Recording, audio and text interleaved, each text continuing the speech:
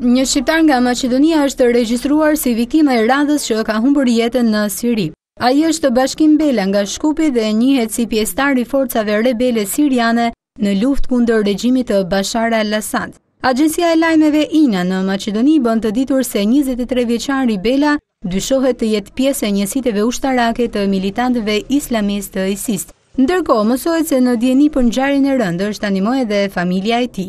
Bashkim Bela nuk ishte i pari shqiptar që vritet në shtetin sirian. Deri më tani rezultojnë të vrarë tridhjetë persona me origjinë shqiptare, gjashtë nga të cilët janë nga Shqipëria, trembëdhjetë nga Kosova Tetë maqedonas dhe dy shqiptarë të Luginës së Preshevës.